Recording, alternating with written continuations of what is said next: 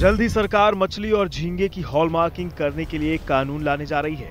ऐसा वे यूरोपीय यूनियन के मानदंडों के अनुरूप क्वालिटी सुनिश्चित करने के लिए करेगी। यूरोपीय यूनियन भारतीय सी फ़ूड के लिए तीसरा सबसे बड़ा बाज़ार है। भारत से करीब सैतालीस हज़ार करोड़ रुपए का सी फ़ूड निर्यात होता है।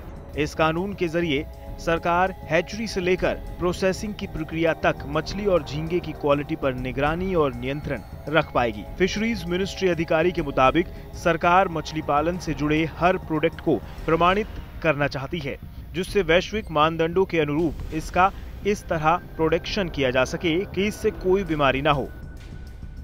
इस प्रक्रिया के लिए प्रोडक्ट्स की नीलामी करने या बाज़ार में जाने से पहले उन्हें टैग करना होगा। इसके लिए कानून होना ज़रूरी है।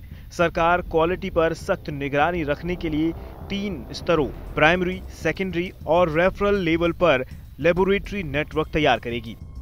एक सीनियर अधिकारी ने कहा, हमने 28 एंटीबायोटिक्स और दूसरे एक्टिव इंग्रेडिएंट्स की पहचान की है, जिन पर पाबंदी लग सकती है। कुछ ज़रूरी एंटीबायोटिक्स के लिए हमने टॉलरेंस लेवल का सुझाव दिया है। सरकार एक्वा फ़ार्मिंग प्रोडक्ट की क्वालिटी सुनिश्चित करने की ज़िम्मेदारी नेशनल फिशरी डेवलपमेंट बोर्ड को सौंप सकती है। एनएफडीवी मछली पालन को बढ़ावा देने के लिए सरकारी संस्था है। पिछले कुछ सालों में खासकर कड़ी निगरानी के चलते यूरोपीय यूनियन में भारतीय सी फ़ूड का एक्सपोर्ट घटा है यूरोप में दूसरे देशों के 10 फ़ीसदी नमूनों की तुलना में भारतीय कंसाइनमेंट के 50 फ़ीसदी सैंपल हैं। पिछले साल चार सैंपल को मंजूरी नहीं मिली थी, जबकि 2018 में 13 सैंपल को, साथ ही समुद्री पकड़ में गिरावट और भारतीय बाज़ार के लिए चीन के बड़े खरीदार के तौर पर उभरने के चलते भी यूरोप में भारतीय सी फ़ूड का एक्सपोर्ट घटा है